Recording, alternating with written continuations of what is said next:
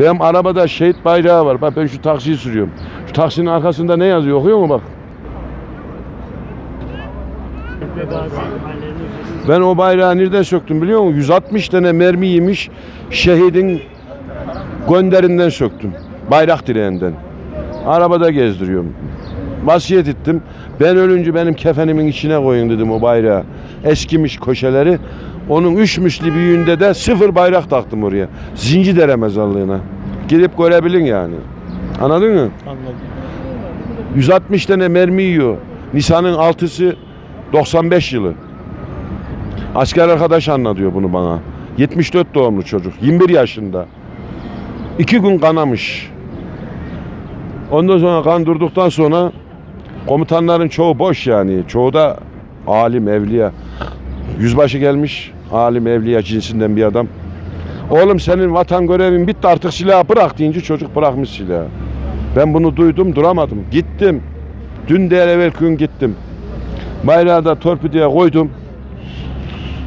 Evdekilere de söyledim. Ben ölürsem bu bayrağı benim kefenimin içine koyun dedim. He. Bir kamyon para getirseler vatan menfaatimi, millet menfaatimi bu para mı deseler vatan millet menfaatini seçeceğim ya.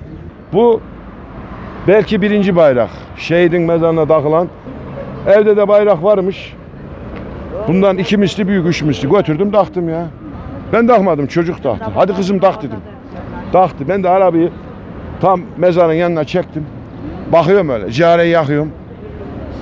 Değiştirdiler. İçime sinmedi. Giderken penseyle tel götürmemişim. Bir daha gideceğim pense, tel. Şu beyazı yamuk oldu. Şuradan geçiyor ya şey Aynen. ip hoşuma gitmedi. Onu düzelteceğim. Anladın kardeşim? Anladım abicim. Öpün bakayım bu bayrağı. Bu şehidin ha. Bu şehidin başından söktüm. Bu bayrak öyle boş bayrak değil. 21 yaşında çocuk şehit olmuş. 74'ün Nisan ayının altısında doğmuş. 95'in Nisan ayının altısında da şehit olmuş. Anladın mı?